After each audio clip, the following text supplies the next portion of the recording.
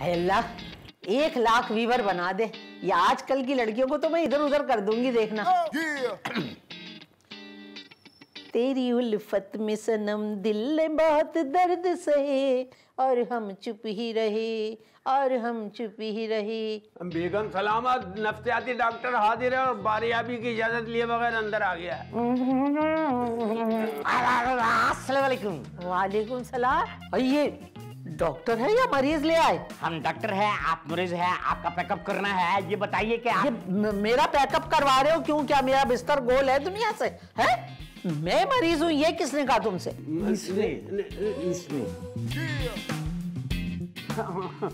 हाँ बेगम सलामत हमने कहा जब ये आ ही रहे हैं तो आपका भी चेकअप कर लेंगे। एक टिकट में दो मज़े। मज़े तो तुम्हारे अभी मैं करवाती हूँ।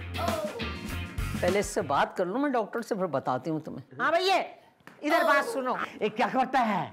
अंदर सामान में तकलीफ़ होता है। सुनो डॉक्टर तुम्हें एक घर में जाना है। हम एक ही घर के अंदर जाता है। दुनिया का हर आदमी एक घर के अंदर जाता है दो घर के अंदर नहीं जाता है।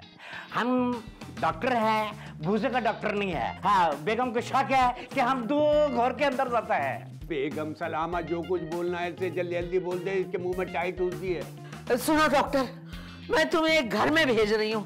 जहाँ सबके सबके दिमाग है ना वो खराब हो चुके हैं। तुम्हें चेक करके बताना है कि उन सबके साथ हुआ क्या है। ऐसा तो कौन सा घर है? उस घर के अंदर कितना लोग पागल है? और किस वजह से पागल हुआ है? क्या वो सदमे से पागल हुआ है या खुशी से पागल हुआ है? अगर वो सदमे से पागल हुआ है तो किस किस्म का सदमा उसको लगा है? अगर खुशी हुआ है तो किस किस्म का खुशी है उसको? इसका मुँह बंद कर दे। इसका मुँह बंद कर दे। भाई दिमाग को पेट तक चेक कर लेना। पता चल जाएगा। और देख दिमाग को दिमाग से ना चेक करना वरना जो तेरी मर्ज़ी में आए कर ले भैया जा तू यहाँ से जा। ये सब चेक करना है दिमाग के अंदर जाना है हथौड़ा मार के दिमाग को फोड़ना है उसके अंदर बेड के अंदर मालूम ये करना है अंदर जाके एड़ी पोटी का ज़ोर लगाना पड़ता है। एड़ी पोटी का चोर लगाना पड़ता है? अरे बेगम चेस का खराब है।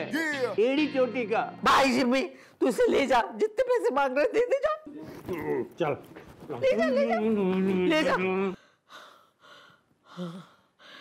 है- है जहीन डॉक्टर अगर इसने इलाज नहीं भी किया तो उन सबके दिमाग का दही बल्कि लस्सी बना देगा ये। खून पी के आएगा। खून पी